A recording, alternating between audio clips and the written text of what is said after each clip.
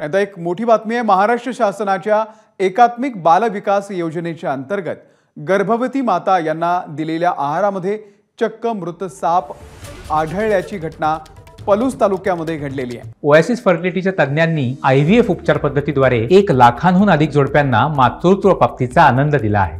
मोफत appointment book करण्यासाठी आजच संपर्क साधा.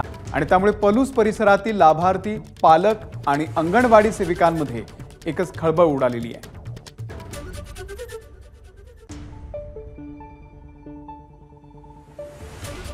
तर सांगली जिल्ह्यातल्या पलूस तालुक्यामधला हा सगळा धक्कादायक प्रकार आहे. माता पोषण आहारामध्ये चक्क साप आढळलेला आहे.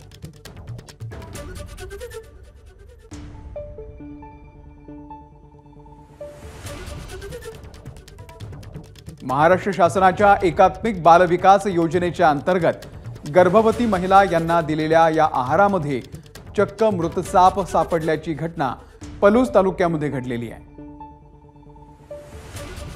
कुलदीप माने आपले प्रतिनिधी या संदर्भातले अपडेट देतील. कुलदीप हा नेमका सगळा काय प्रकार घडलाय?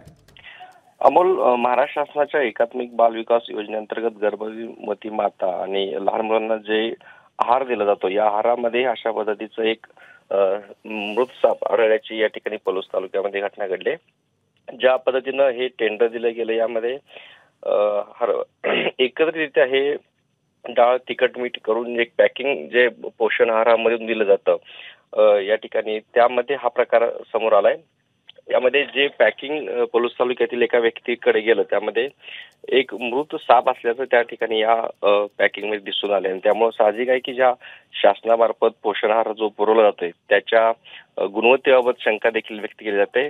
संशय असा आहे की हे जे पॅकिंग होत असताना अशा पद्धतीनं एक साप या पॅकिंगमध्ये अ, गेला असावा आणि त्यानंतर त्या ठिकाणी ते मृत झाला असावा आणि तेच पॅकिंग या पोषण आहारामध्ये वितरित झालं असावं.